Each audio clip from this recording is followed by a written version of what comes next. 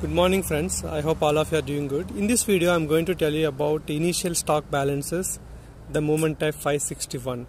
So this 561 movement we use uh, whenever uh, during uh, go live the entire uh, stock in the existing system of the client will be loaded into SAP system.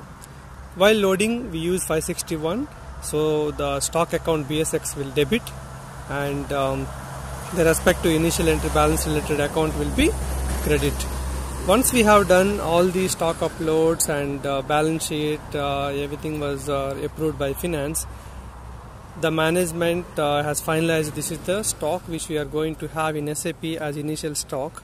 Then finance will block the GL account. So normal processes we never use 561 or 562 again. If there is any kind of uh, stock discrepancies we use physical inventory or uh, 2